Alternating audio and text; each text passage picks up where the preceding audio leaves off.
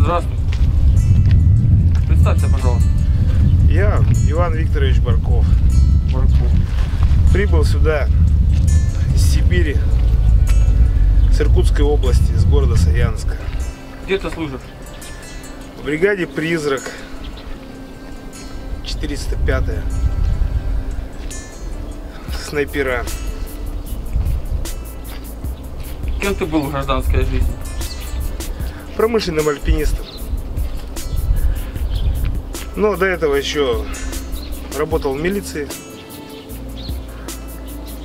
Службу проходил на границе на Тувинско-Монгольской.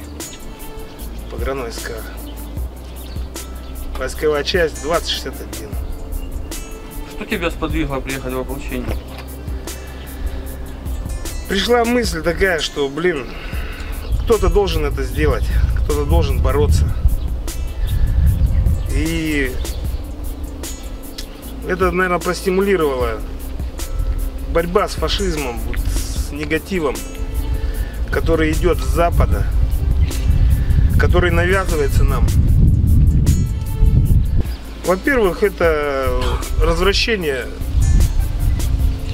общих человеческих ценностей.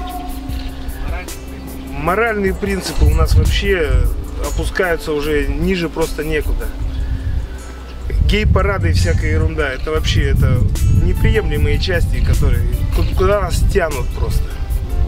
Нам навязывают то, что вообще чуждо человеческой морали. А тут уже началось такое, что начали убивать просто уже в наглую. Мирное население просто начали уничтожать. Я приехал, чтобы отстоять э, дело дедов, отцов. Все боролись с фашизмом, чтобы не дать ему вновь вылезти наружу. Сколько ты здесь служишь по времени? Два месяца, третий месяц пошел. Самый воевой запоминающийся случай был у тебя? Ну, пока такого ошибка серьезного ничего не было. Привет, передашь народу Украины? Да, передам привет огромнейший. Скоро мы придем и все-таки наведем порядок. А что ты можешь сказать частным батальонам и солдатам ВСУ? Ну вот солдаты ВСУ бы лучше задумались бы головой, с кем они воюют. А вот частные батальоны, они еще получат свое. То, что они творят, это не забыто. И каждого ждет заслуженное наказание.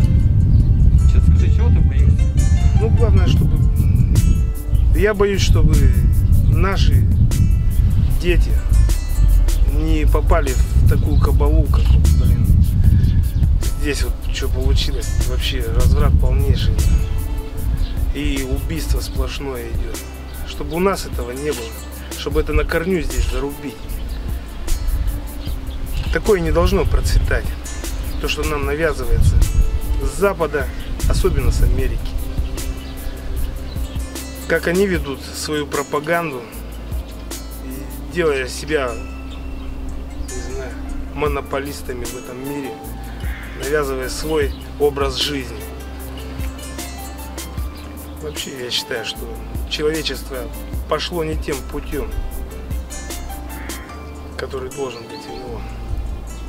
Мало кто задумывается над смыслом жизни. Бригаде призрак пожелаешь бойцам, однополчанам, что? Чтобы у всех было все замечательно, чтобы когда война закончится, чтобы все вернулись домой. И занялись своей прежней работой. Да, и чтобы у всех были семьи, у всех были дети, все были счастливы. Спасибо.